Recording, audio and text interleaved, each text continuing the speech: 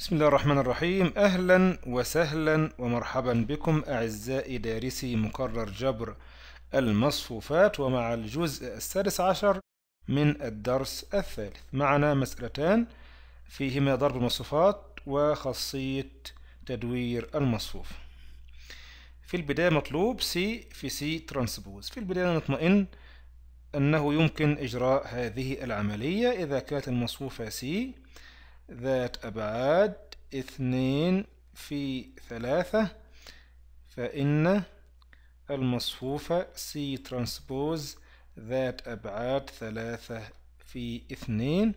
يلاحظ أن العددان الأوسطان متساويان. إذا يمكن إجراء هذه العملية ويكون خارج ضرب هذه المصفوفتين C في C transpose يكون من أبعاد اثنين في اثنين.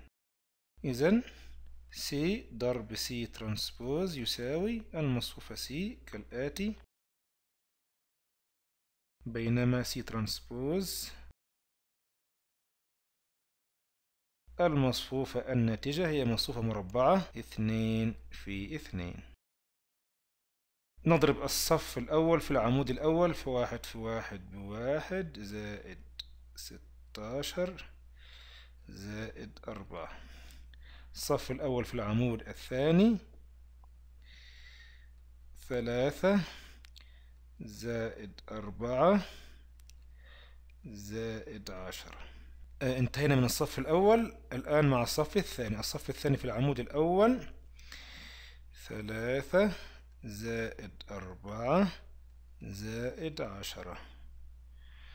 أما الصف الثاني في العمود الثاني تسعة زائد واحد زائد خمسة وعشرين.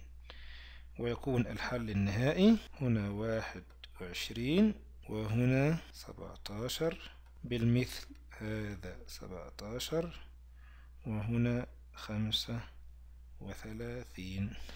الآن المطلوب حساب دي A ترانسبوز نطمئن أولا أنه يمكن حساب دي المصفوفة. دي ذات أبعاد ثلاثة. في ثلاثة بينما A ذات أبعاد ثلاثة. في اثنين إذا يمكن إجراء هذه العملية ويكون المصفوفة الناتجة من المقاس ثلاثة في اثنين. أما بالنسبة لإجراء عملية التحويل أو التدوير ترانسبوز فلا مشكلة إذا كانت المصفوفة المدورة هي مستطيلة أو مربعة. المهم أن يكون هذا الضرب دي A متاحا. الآن دي A يساوي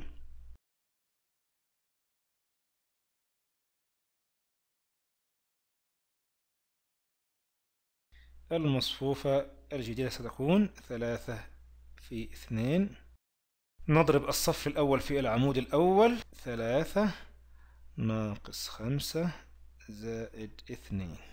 الصف الأول في العمود الثاني صفر زائد عشرة زائد اثنين. الصف الثاني في العمود الأول سالب ثلاثة زائد صفر زائد واحد. الصف الثاني في العمود الثاني صفر زائد صفر زائد واحد. الصف الثالث في العمود الأول تسعة ناقص اتنين زائد أربعة. الصف الثالث في العمود الثالث صفر زائد أربعة زائد أربعة. وتكون المصفوفة النهائية بهذا الشكل. ثلاثة واثنين خمسة ناقص خمسة صفر اتناشر سالب ثلاثة وواحد سالب اثنين واحد تسعة وأربعة تلاتاشر ناقص اثنين حداشر أربعة وأربعة ثمانية الآن ندور حاصل الضرب.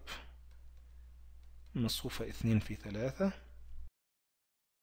صفر سالب اثنين حداشر. اتناشر واحد ثمانية